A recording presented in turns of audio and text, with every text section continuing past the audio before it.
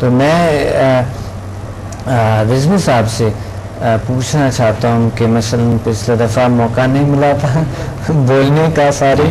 और इस दफ़ा इंशाल्लाह आप इस प्रोग्राम में आप बता सकते हैं, अपने व्यू, और अपने व्यूवर से, अपने लोगों से आप बता सकते हैं कि आपके ज़िंदगी में आप आए थे आप जिल साइंसेस और तब्दीलियाँ कैसे और क्या महसूस किए जब मैं आपको अटेनमेंट देता हूँ या किस तरह आपकी फीलिंग्स क्या होती है?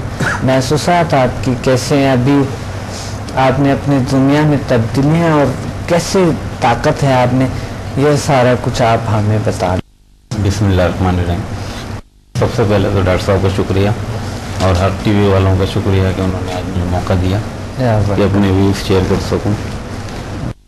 जील साइंस से मुतल यह है कि जब आपने मुझे अटेनमेंट दी है जिसके बाद से इतनी यानी कि हल्कापन महसूस हो रहा है।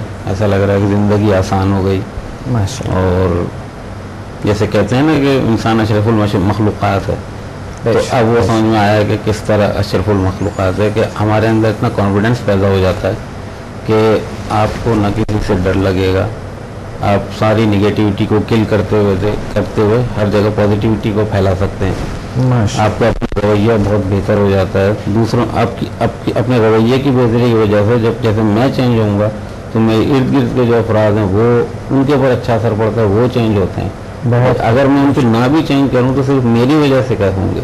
उसके अलावा जो इल्म आपने दिया उस उस हिसाब से हम और लोगों को जितने हम भलाई कर रहे हैं जितना फ़ायदा कर रहे हैं वो तो और उसके असमरात बहुत ज़्यादा हैं।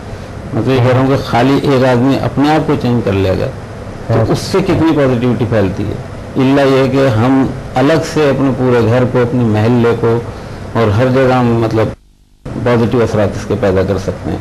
मैं तो कहता हूँ कि डॉक्टर साहब ने जैसे कहा और वो वकील साहब ने कहा था कि मतलब वकला में या जेल जेलों में इस किस्म का होना चाहिए। मैं तो कहता हूँ हर डिपार्टमेंट में होना चाहिए एक ऐसा शोबा हाँ। स्कूल में होना चाहिए। बच्चों को इतने मसाइल हैं बच्चे आजकल इतने शार्प माइंडेड हैं कंप्यूटराइज बच्चे हैं माशाल्लाह। बहुत जहीन फतीन बच्चे हैं। वो तो बहुत जल्दी पिक करेंगे उनके लिए तो कोई मसला ही नहीं है। और उनकी ज़िंदगी आसान, उनके माँ बाप की ज़िंदगी आसान, वालदान को फ़ायदे। महल्ले में, अपने अतराफ़ में, आप देखें कितने यानी कि आजकल, यानी कि निगेटिविटी फैली हुई है। लोग वायलेंस कितना है माशरे में। माशरे मतलब बुराई की तरफ़ गामजान है सब जल्दी में पैसे की दौड़ है। इससे इतना ठहराव आता है, इस, यानी इस इल्म से। और एक माशाल्लाह आप इतने मुशफ़ और मोहतरम उस्ताद हैं आप खुद से आप तालीम दे रहे हैं और ना कभी अपना हर चीज़ आप बताते हैं कोई चीज़ अपने पास रखा नहीं सबसे बड़ी बात आपकी है। तो मैं तो कहता हूँ कि माशरे के तमाम अफराद को इसमें आना चाहिए और वैसे डॉक्टर आए मतलब क्योंकि ज़िंदगी के हर शोबे में आपको मदद कर रही है। आप मतलब आपके सबसे पहले जो अपने साइकोलॉजिकल जो आपके प्रॉब्लम्स हैं मामूली मामूली से होते हैं, वो बढ़ते बढ़ते बढ़ते बढ़ते आदमी के, ऐसा लगता है कि हमारे जिसम के अंदर कोई चीज़ रोक रही है, वो रोक ख़त्म हो गई। यानी कि काफ़ी फ़र्क पड़ता है, बग़ैर सिर्फ़ अटेनमेंट से। अच्छी खासी ज़िंदगी, हमारी ज़िंदगी हल्की फुल्की हो गई, आसान हो गई, बेहतर हो गई। तो मैं तो यही कहूँगा कि पूरे माशरे को बेहतर करने के लिए तमाम अफराद को इस तरफ़ आना चाहिए। और माशाल्लाह आप इतने एक नेमत की तरह हमारे वहाँ दरमियान मौजूद हैं। और इतना अपना टाइम निकाल के हमें माशाल्लाह बहुत कम सोते हैं डॉक्टर साहब। पब्लिक के लिए लोगों के लिए इतना कर रहे हैं। तो लोगों को भी चाहिए कि वो ज़्यादा से ज़्यादा इस तरफ़ आएँ और इस कॉज को लेके आगे बढ़ें और इस निसफ पाकिस्तान में जितनी शिद्दत पसंदी और निगेटिविटी फैली है उसको सबसे अच्छा तरीका यह है कि हम अपनी ज़िंदगी को और दूसरों की ज़िंदगी को पॉजिटिव वे में चेंज करें। तो कितना यानी कि सम्राट इसके कितने होंगे कि पाकिस्तान तो पाकिस्तान हम इसको असरात बाहर लेके जाएँगे इसके बेहतरीन असरात। बहुत अच्छा। बहुत तो मैं तो दोबारा आपका शुक्रिया अदा करूँगा कि आपकी तवसत से। और लोगों को भी अभी तो मतलब जितने हम मैंने अभी तो मुझे अभी शुरुआत ही हुई है। अभी से मुझे इतना अच्छा रिज़ल्ट मिल रहा है। जब हम जब तक हम आगे जाएँगे तो जिस तरह और बड़े सीनियर लोग हैं डॉक्टर ये फ़कीर मोहम्मद साहब हैं डॉक्टर साहब हैं और भी सीनियर लोग उस तरह कितने फ़वाद होंगे। खुद मैं तो ये तो मैं खुद गवाह हूँ तो मुझे कितना इसमें फ़ायदा मिला मुझे। और जो मैंने घर में तजुर्बात की है महल्ले में तो माशाल्लाह इंतहा इसके फ़वाद हैं। और, और की बात आपने कही माशाल्लाह घर में क्या तब्दीलियाँ लाई क्योंकि कहते हैं कि घर वाले किसी से तब्दील नहीं हो सकते मैं मज़ाक करते लोग नाराज़ हो जाएँगे। घर वाले मेरी पॉजिटिविटी को फील कर रहे हैं। कह रहे हैं कि आप में वाकई आप में चेंज आ गया। और जो मैंने घर में जो अपना हीलिंग दी है तो उनको भी फ़ायदा हुआ और कुछ न कुछ उनके अंदर पॉजिटिविटी आई है काफ़ी। और एनर्जाइज हो गए सब लोग काफ़ी। और सबका रवैया कुछ बेहतर हो गया, काफ़ी। वो बात तो नहीं हुई कि जैसे कि वो कहते हैं, एक लेडी बता रही थी कि उसके हस्बैंड घर घर आया और बता रहे थे कि जल्दी उधर आ जाओ। उन्होंने कहा, क्या था? क्या क्या कुछ देखा? उन्होंने कहा हाँ मैंने कुछ देखा। मैं आज खिड़की से देख रहे थे एक आदमी, इतना अल्लाह की बुज़ुर्ग है और हमें पता ही नहीं हमें नज़र ही नहीं आते इतने अल्लाह के बुज़ुर्ग है लेकिन हमें पता नहीं। एक आदमी हवा में उड़ता हुआ मैंने देखा है अल्लाह का बुज़ुर्ग। तो उन्हें कहा था वो तो मैं था। तो वो अच्छा उसके एकदम रवा ऐसे हुआ अच्छा मैंने देखा कि वो तेरा बेड़ा कौन होगा। हाँ, ये तो आप कह रहे हैं सही तो क्या घर में तब्दीली आ गई। हाँ माशाल्लाह मैंने अपनी अपनी वाइफ को भी जो हीलिंग दी है तो पहली दफ़ा सबसे पहले वाइफ को दी और सबसे मतलब उन्होंने अब तक उनके मेरे जो बैक बैक एक था वो ख़त्म हो गया बिल्कुल दोबारा हुआ नहीं। और घर में और भी यानी कि अफराद को दिए। तो ये है कि यानी घर से मैंने स्टार्ट किया है। किया और जैसे आप वाइफ का कह रहे हैं तो माशाल्लाह उसको तो फ़ायदा हुआ है बहुत। बहुत अच्छा बहुत अच्छा बहुत खूब। मेरे बहुत से स्टूडेंट हैं प्रमोशंस मिलते हैं उनको जब उसे एच करते हैं या बहुत ही अच्छा अला मिलते हैं और बहुत कामयाबी ज़िंदगी में हासिल करते हैं।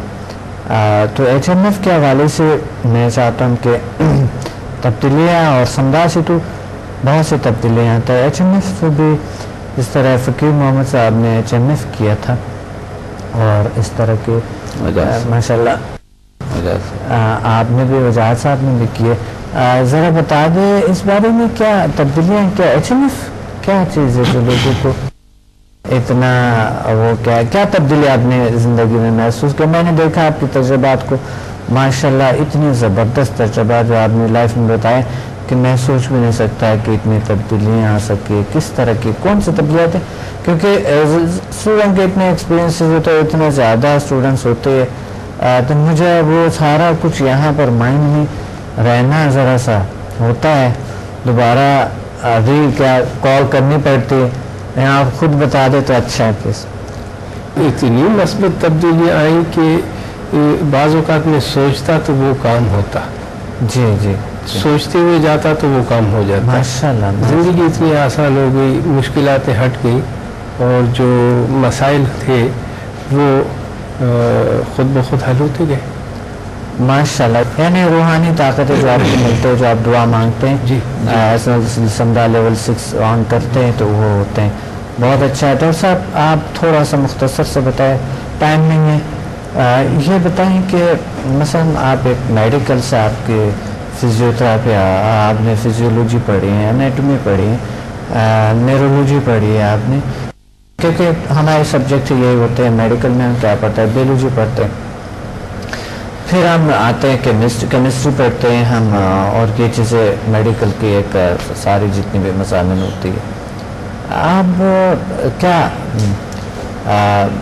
महसूस करते हैं कि इंसान के इतने ऑर्गान्स है बॉडी में इतनी दुनिया है, बड़ी है, और फिर उस सब में तब्दीलियाँ लाना या उस निज़ाम को नए सर से दुरुस्त करना समदा हिलिंग जिस तरह के आपके एक ये एक महसूसात है जो कि आपने शेयर किए थे।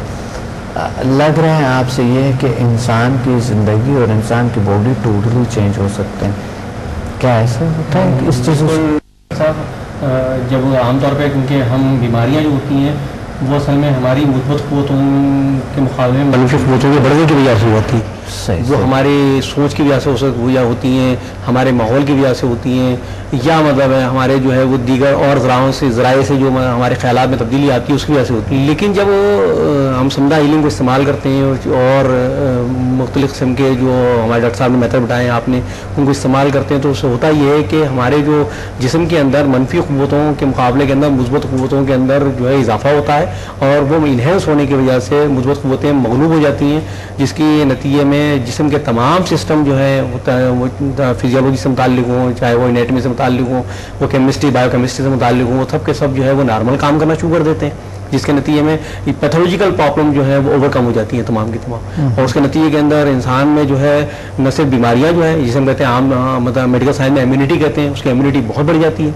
उस इम्यूनिटी की वजह से उस पर बीमारियाँ असरअंदाज नहीं होती और उसके नतीजे में उसकी ज़िंदगी में बड़ी तब्दीली आ जाती है।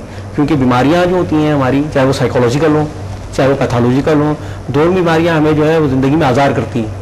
क्योंकि साइकोलॉजिकल प्रॉब्लम की वजह से हम दुनिया में बहुत सारे मामला से हम जो है दूर हो जाते हैं मिसमैच हो जाते हैं और हम वो काम नहीं कर पा रहे होते जो हमें करने के लिए हमारी सलाहियतें होती पैथोलॉजिकल प्रॉब्लम की वजह से हमारे ज़िंदगी के अंदर हमारे जो है मुख्तलिफ़ किस्म के कोई फ़ूड ये चीज़ें, खून की बीमारियाँ, मुख्तलिफ़ किस्म के जो है और मसले, बुखार, इन चीज़ों की हमारी इम्यूनिटी बढ़ती है तो फिर हमें ये चीज़ें से जो है निजात मिल जाती है।